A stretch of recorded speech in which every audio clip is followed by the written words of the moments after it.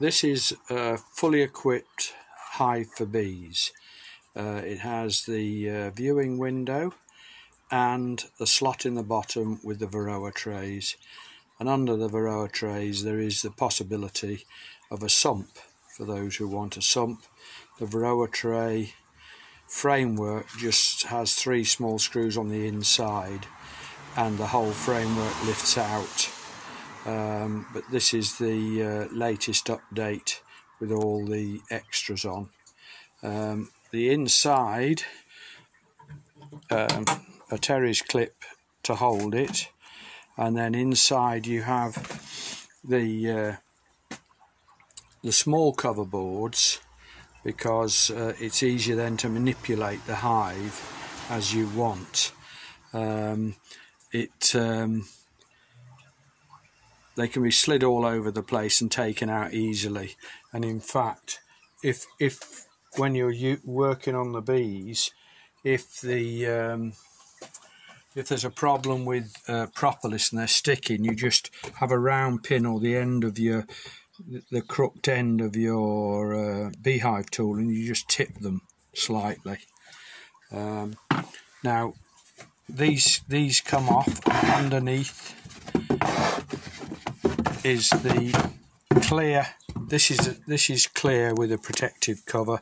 This is clear perspex. So you can view you can easily view the um, what the bees are doing with the honey. Now um, if you if you're not going to have supers on then you can just put the perspex cover on directly on top of the uh, main body of the hive. Uh, I'll just remove these to show. Then then you've got your super, um, and the idea with this hive is that everything below the super belongs to the bees, and then if you want honey, then you just take the frame that you want. So if the middle one's filled first, you remove that and replace it. That way, uh, you don't really have to get a face full of bees. The whole idea for this is, is for people that um, don't want to lift a lot and also don't want a face full of bees every time they so they can come and check you can come and check the bees whether they've got if they're working in the super and then you can come down here uh, uh and remove these um, brass screws. Oops. Uh, unfortunately, I'm having to work inside because the weather's so bad.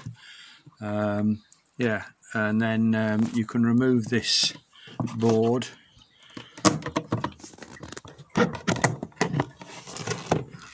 And then you've got the bee frames inside. Unfortunately, I haven't uh, squashed them all down flat, but normally they're hanging uh, vertical. Um, and then um, so you can see below what's going on. Uh, so and then below that is the Varroa floor. So um, it was after a lot of demand and people requesting Varroa floor that I decided then I'll see if I can make it um, fully accessible. Um, let me just get two hands on this.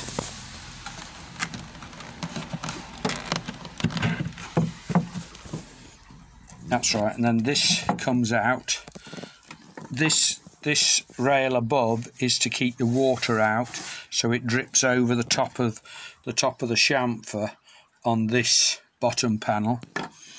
Then inside here you have the two Varroa floors. Now the um, the right hand one is larger. The uh, as you can see the um, dividing board is here um, and the glass is flush with the inside of the wood so the divider board there the bees shouldn't be able to get through um, and the idea is you have a main colony and really from experience a main collie will take up the whole hive But if you did want two nukes or a mainish colony and a nuke, you've got 13 frames that side and 11 that way to make the 24. And this is the, the Varroa sliders. Um, they just pop in there like that. And then there's a smaller one this side under the 11 frames. Um, and then and then you just pop this back on.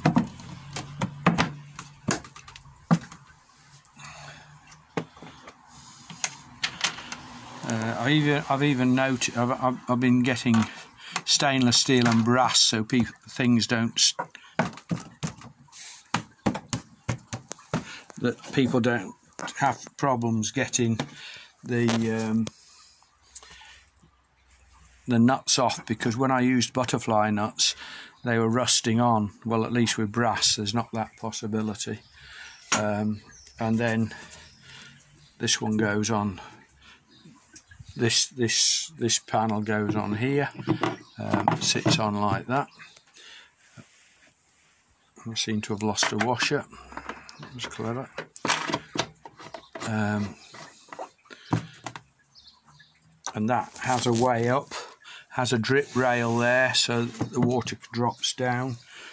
Um, this drip rail here so the water drops down. This this little panel here has a sharp drip rail so the water drips on the outside of that slope.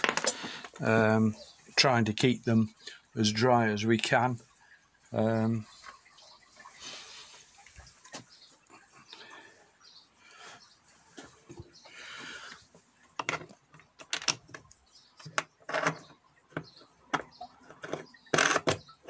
and another thing I've noticed um, this we had this hive outside all winter um, and it's a slight bit of discoloration inside because uh, prior to prior to leaving it out um, I hadn't sealed the the holes the, milling holes where all the slots are um, and I also found that this top ledge here there was water sitting on that.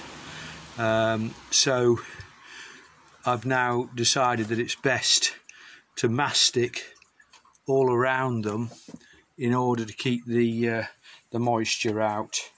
Um, but otherwise uh, it doesn't seem to be a problem. Now on the inside we'll continue to go down on continue to go down this side and I can explain how um, that works. Um,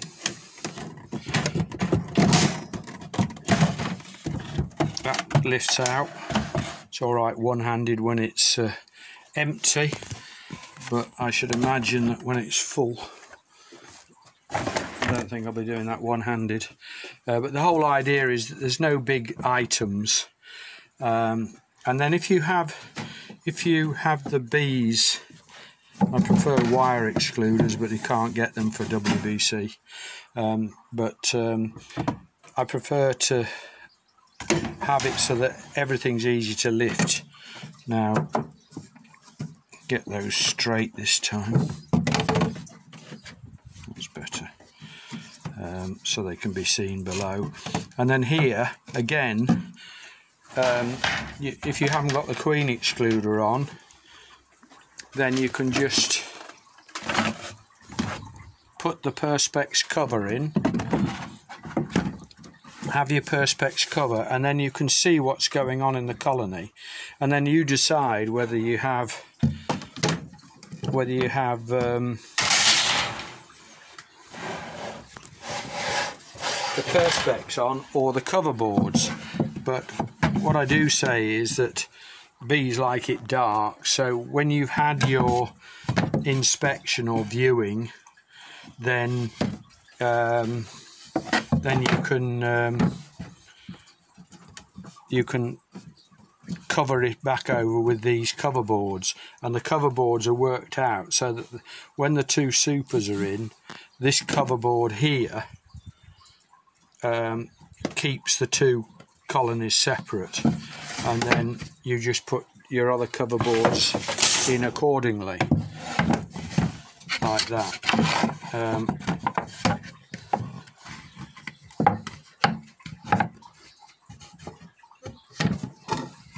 and because there's a that's a divider board that that works on like that says I and there's one of these rogue frame spacers got in. Now the important thing as well to note while I'm in here um, is that bee spacing it's a critical thing everybody talks about it but I found from my own experience reading all the books about the Warré and everything that a normal bee frame is 36 millimeters from there to there. And it's too narrow when they're together for bees because it doesn't give them the right 9 millimeter crawl space between this 9 millimeter crawl space between the two built when they combed it there isn't enough room so they'll sometimes turn or brace. So if you use these plastic ends they're 30 they between 37 and a half and 38 and a half millimeter and they work really well um, now another th note thing to note really is although I've got this full of frames, this frame shouldn't really be touching the wall because it should be another four and a half millimeters away from the wall or four millimeters away from the wall to allow the bees to occupy it. But um, it just means that you have one less in the whole box. Um, but that that's how that basically works. So if it if it's built ready for uh, the bee access, then you put the uh, queen excluder on, um, and you can either use it that way or turn it the other way. You can either use it that way or turn it that way, um, so it's between the the spacers between the spacers this side and the spacers that side. So it's all flush. And then you can put your um, super back in.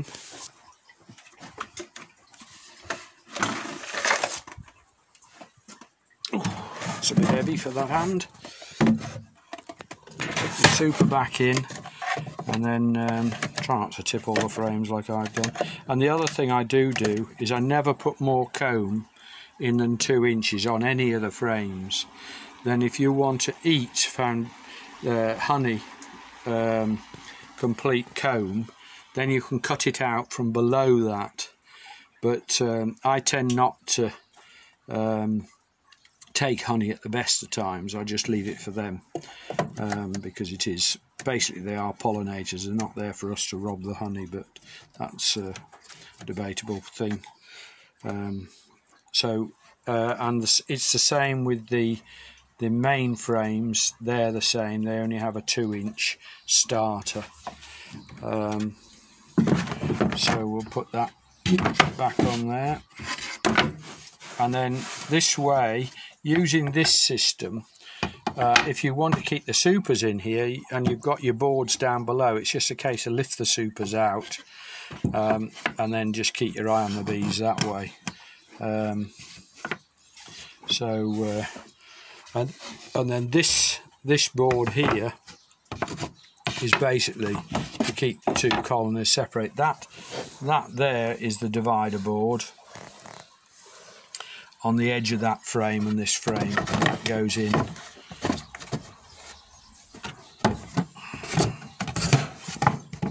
That goes in like that. Uh, and so it's it's bee tight now. Um, and we're not they're all on. It's it's all dark. So that's the basic setup. Um, but as I say even on the big frames I I tend not to um, well I never I never put foundation in but I've I've learned that if you don't put a two inch starter strip in in foundation in then you have a, a slight problem in as much as the uh, they might go they might go zigzag if they haven't got that two inch strip that two inch strip to start with um, but the whole the whole idea of the frame uh, uh, hive is to make it easy um, so there's no lifting. You know you can do one frame at a time um, and it's basically very easy to use. Um, and then if you want feeders now it takes two of the big green feeders or you can put two of these white feeders in um, and I supply I supply these um, white plastic bungs so if you've got if you've got a green feeder you need to drill a hole you need to drill a hole here and a hole here. And then if you've got this these single um, white feeders then you can either put just one hole in the middle or two close together like that because this this does this only has a single uh, circular hole. So you know um, put you know one in the middle and then and then uh, mark it with felt pen so that it's sitting directly over the hole. Um, and obviously you can't have the supers in here um, when you've got the feeders.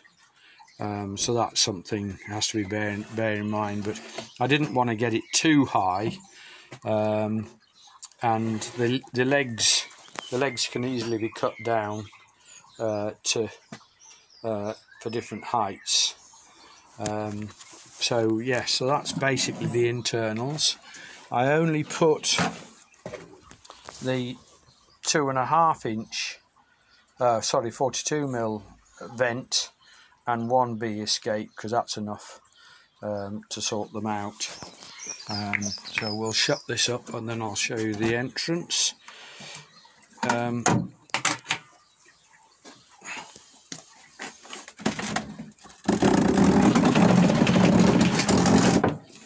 right so around the front here we've got uh, the entrance. Now I build it away here so that the 40 the, the 50 millimeter insulation slides behind. Um, so you can put a piece up there. Well you slide you you basically slide it up from the bottom cut a slot three inches wide and I think it's eight inches deep and then the and then the um, the polystyrene just slides up behind and locates behind locates behind here. Um, and then uh, yeah so these screws here are to counteract the load of the gas struts. Otherwise it has a tendency to try and push the front of the hive off. Um, so anyway so yeah so you get the landing. It's a deep hole for the bees but you get the landing board and then you've got the various places to put it. Um, yes so that's basically that's basically it. And as I say uh, the hot the legs are drilled the supports are drilled for um, three three bolts but we've never needed the others but it, it allows you to cut a piece of the the top of the leg off and slide it up um, slide it up. These these legs are full fully tannalized, so they're fully treated. They're the only thing on the the hive that's uh, treated, um, and that's uh, they're painted. Well, I paint them, but uh, the hive comes unpainted. But at the moment, I've just been painting them uh, for different customers. Um, so yeah, so that's basically the hive for bees. Unfortunately, we're not outside in the sunshine, um, but uh, yeah, I hope you like what I've created. Thank you.